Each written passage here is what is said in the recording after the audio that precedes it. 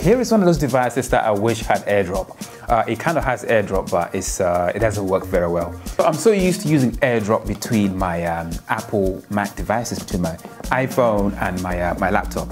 Unfortunately, we live in a world where AirDrop is not universal. You gotta resort to good old dongle. So I got one of these dongles from um, a company called Ugreen. Uh, I need something sharp to open this. Ah, okay, there's a tab. I should have seen that. Um, just use it. Okay, bada bing. Ooh, okay. That's it inside right there, bada bing, bada boom. We have this dongle here. This is a USB-C uh, card reader dongle by a company called Ugreen. Let's unwrap this completely. Bloody hell, it's taking ages. This is my new unboxing couch.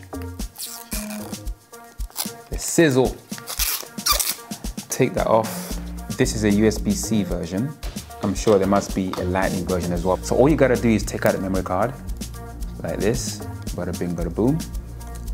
And then grab the whoop, SD card reader, stick the SD card reader, because my iPhone is a 15 Pro Max, it's got USB-C, so all I gotta do is stick the USB port.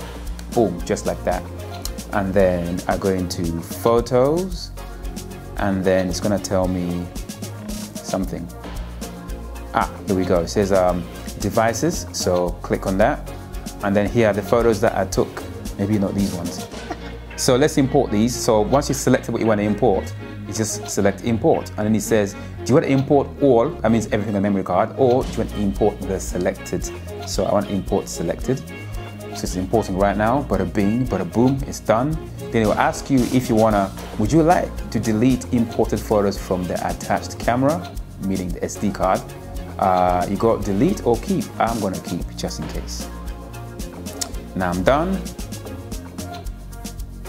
Pull out the SD card. And that's it. And the photos that I just imported should be on my camera roll right now. Um, bada bing, bada boom, and here they are. they are imported. That's it. It's as easy as that. Now I want to see if this also works on your Mac, just in case your Mac hasn't got an SD card reader. Mine has, but you never know. Maybe you have a MacBook Air um, and uh, you don't have an SD card reader. So let's stick this in the SD card reader on the side over here, like that. And let's see if it will also read. There you go. Bada bing, bada boom. Also works on your Mac. And I assume this will also work on your iPad as well. So yeah, it works on all your devices. So yeah, I'll keep this in my camera bag just in case.